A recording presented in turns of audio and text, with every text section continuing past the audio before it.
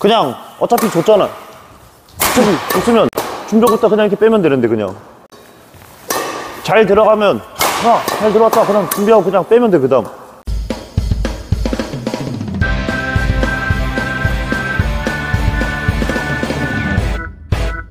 몸앞 들, 사람을 많이 움직이게 때려봐. 만들어. 이처럼. 몸 들지 말고, 몸 자꾸 왜 드는데. 몸 들지 말고. 우와 씨. 그래야지 열리지 이렇게. 아니, 이건 그냥 못 때리지, 내가 세게 쳐가지고. 어, 잘 때려봐요.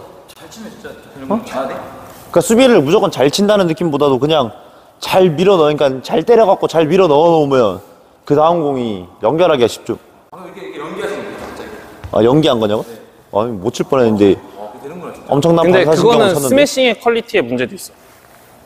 그러니까 이게 때리는 사람이 잘 때려줘야 돼. 짧게 올려줄게. 짧게. 그, 우와, 씨. 역할을 바꿔야 되나? 전일, 이쪽에서 해보자. 전일을 못하는데, 내가? 세- 짧게 올려줄게, 짧게. 자. 우와. 이러면 상대적으로 열리, 열리기가 쉽잖아. 그리고 여기 있는 사람이 이, 이쪽으로 사이드로 빠지기 시작하면 여기 직선으로 잘 못 때려, 생각보다. 저기 저쪽으로 많이 때려. 저쪽으로 때리면 내가 하나 주고 오면 그냥 맞추기만 하면 대각으로 빠지잖아. 저 새끼 빡 밀어야 돼. 진짜 진심을 때린 건 아니거든. 그러니까 안 진짜 밀리면 한 번 더 밀면 되고. 아, 그, 와우. 빡 밀어야 돼. 어? 오, 원래 저렇게 못했는데. 세게 때리네. 오씨. 그래서 이게 빠지게, 빠지게 때려줘야지.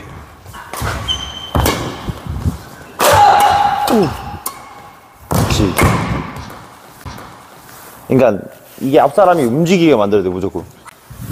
앞 사람을 잘. 이슬아 근데 뭐 할지 조금 조금씩 다 보인다. 아니 아니 네가 드롭을 넣을 거. 그러니까 때릴 때도 잘 생각하고 때려야 돼. 우리 팀이 여기 서 갖고 있는데 이 사람을 작게끔 때려줄 건지 아니면 대각으로 빠지게끔 때려갖고 내가 또 때리고 들어갈 건지 아니면 우리 팀이 여기 있어 갖고 뭐 이쪽으로 내가 우리 팀을 빼고 내가 들어가면서 때릴 건지 그거에 따라서 스매시 코스가 계속 다 바뀌어요. 그 뒤에 그냥 드롭만 해봐요 천천히. 자, 드롭 하죠. 우리 이쪽 사이드로 몰면 이 공이랑 나랑 똑같이 일직선을 쓴다 생각하면 돼. 그럼 얘가 조금만 당겨주고 거기서 저기는 뭐니까. 그러니까 그거에 따라 갖고 계속 천천히 사이드로 빠지면 같이 움직이고 또 다시 둘, 둘 다시 하면 둘. 그래서 이 under의 중요성이 있는 거야. 네가 아무리 잘 간다고 해도 때리지 못하잖아. 그 언더도 좋아. 어떤 사람들은 언더를 계속 이렇게 세게만 해. 막 높게 길게. 이게 아니라 드롭 해봐. 어떨 때는 그냥 높게 길게 이렇게 갈 때도 있어야 되고 어떨 때는 빨리 갈 때도 있어야 되고 그리고 언더를 무조건 높게 길게 하면 공이 높게 솟으면 상대방이 자세 잡기 때리 자세 잡고 때리기가 편하거든요. 좁아요 언더에. 나 아이고 무조건 이렇게 높게 길게가 아니라 공에 맞춰갖고 이렇게 쭉 뻗어가게.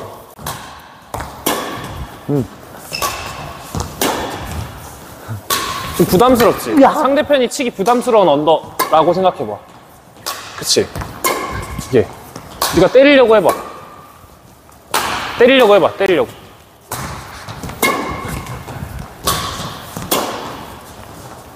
때려봐, 때릴, 때릴 수 있으면 때려봐.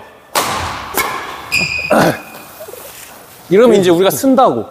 네가 그런 움직임을 보이면 우리가 서서 수비- 이렇게 된다. 수비 잘하려면 수비 잘하는 사람들이 보통 공통적으로 잘하는 게 이 언더를 잘해요.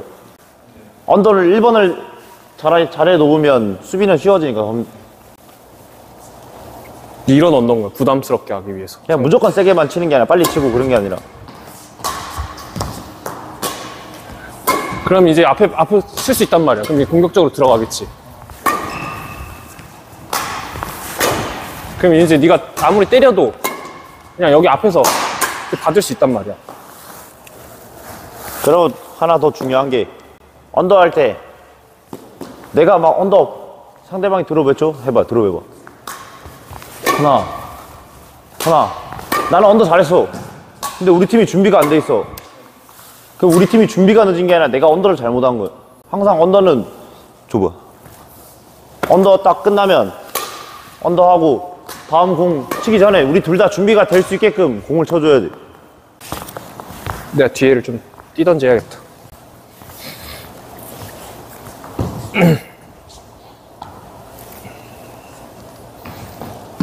내가 뛰어서 때려줄게. 그러니까 네가 under 잘 해봐. 시작.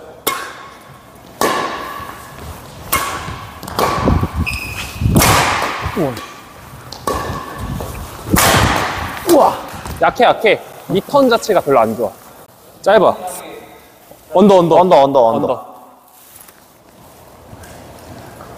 우리가 무릎을 집어넣어서 under를 하듯이 아까, 아까 컨트롤 하듯이 집어넣어서 빡 밀어내야 돼 더 스윙 더 해서 해봐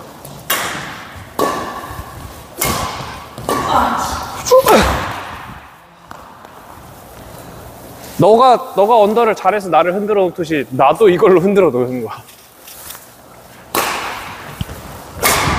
우와. 리듬을 깨니까 어려워지지. 그지? 그지? 그네 리듬을 잘 으, 맞춰봐.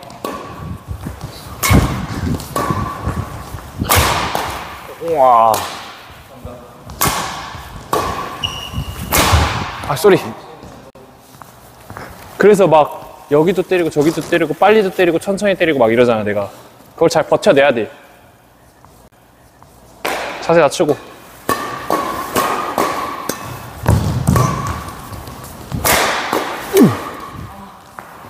이거 흔들기 시작하니까 바로 그리고 잠시 흔들려 다시. 저쪽으로 한번 가봐요. 저기로 가봐. 이게 버릇이 하나 있는데 철원. 그거 옷 그거 공이 잘 들어가면 포핸드로 바꿔야 되는 건 맞아요. 근데 하나 하나 자꾸 이렇게 바꾸려고 지금 지금 잘 들어갔는데도 꽂을 수 있잖아 반대로. 근데 자꾸 공을 하나 치고 내 기준에 잘 들어갔다고 생각을 하면 자꾸 이렇게 파- 포핸드로 바꿔요. 상대방이 공을 뜨게끔 치게끔 만들어 놓고 포핸드를 들어야 되는데 하나 잘 쳤어. 자꾸 이렇게 이렇게 준비하려고 막 포핸드로 치려고. 그러니까 자꾸 때리면 자꾸 이런 스윙이 나오는 거예요. 그냥 어차피 줬잖아. 어차피 줬으면 준비부터 그냥 이렇게 빼면 되는데 그냥 그 공을 저 그 두 번째 공은 수비를 해서 어차피 이기려고 하는 게 아니잖아요 우리가 그냥 공격 수비 전환만 시키면 되는 건데 잘 들어가면 하나 잘 들어왔다 그냥 준비하고 그냥 빼면 돼 그 다음 그대로 맞춰서 공만 안 꽂히게끔 만들어 놓고 좋다 그냥 맞춰서 그냥 빼기만 하면 되는데 이렇게 근데 그거를 왜 하나 잘 쳤다고 자꾸 포인트로 막 이렇게 바꾸려고. 그런데 그 내 공이 막 땅으로 잘 들어갔고 상대방이 막 못 잡을 때 이럴 때만 바꿔도 되는데 그게 아닌데 왜 자꾸 바꿀까? 그러니까? 앞 사람이 잘 들어갔다 생각해도 네트 위에 있으면 이렇게 눌러버리면 자꾸 이렇게 당하는 거예요.